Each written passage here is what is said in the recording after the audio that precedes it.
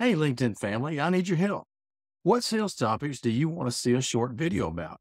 I'm counting on sales managers, sales reps, and small business owners to let me know.